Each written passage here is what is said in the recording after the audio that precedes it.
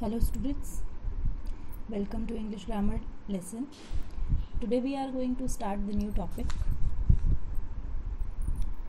The topic is the simple past tense.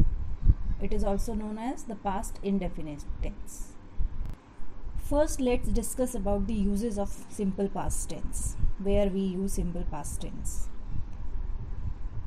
The simple past tense is used to express an action completed in the past with reference to the time of speaking. For example, I saw many birds in the zoo. Second, to express habitual or regular action in the past. For example, Gandhiji always spoke the truth. This is the habitual and regular action which was happened in the past. So here we use simple past tense.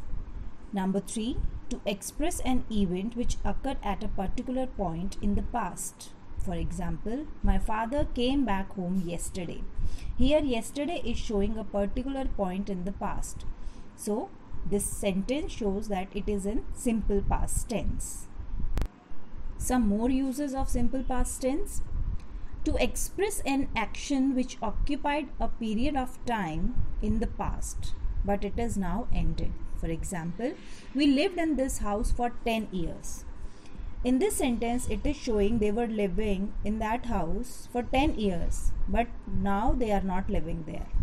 Second is, I stayed at the Green Hotel for two months. It means he stayed, but not staying now. Number 5 to express an action where some word showing past action like yesterday, ago, last, etc. is given in the sentences. For example, he received your message yesterday. Yesterday tells us that the sentence is in past form. I passed the SSC examination last year. Here, last word shows that this happened in the past section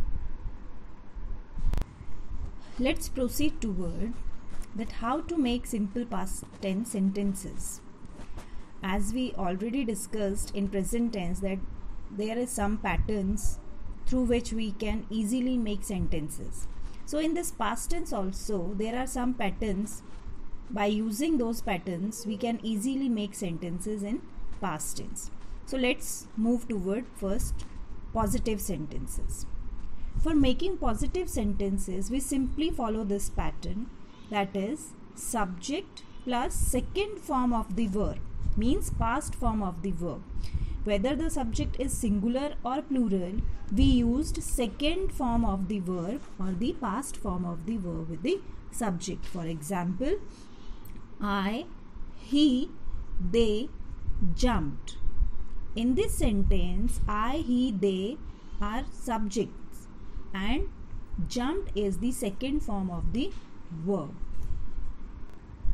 For making negative sentence, we simply follow this pattern. Subject plus didn't or did not plus first form of the verb that is the present form of the verb or the base form of the verb. For example, I, he, they did not or didn't jump here we are using first form of the verb with did not, didn't. For making interrogative sentence, the pattern is did plus subject plus first form of the verb and question mark. For example, did I, he, they jump? First we use did then we add subject and then we add first form of the verb and put a question mark in the end. It makes the sentence interrogative or question. Now on the basis of your understanding about the simple past tense let's do one exercise. In this exercise you have to write the past simple form of the following verbs. First word is get the past simple form of this verb is got. Second, see. Answer is saw. Number three, play. Past form is played. Number 4 pay. Answer is paid. Number 5 visit. Answer is visited. Number 6 buy.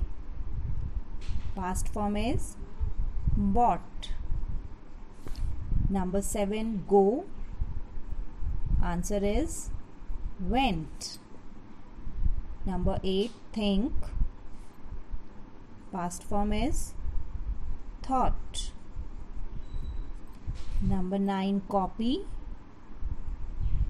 Answer is copied. Number 10 know. The past form is knew. That's all for today. Thank you very much. Stay home, stay safe.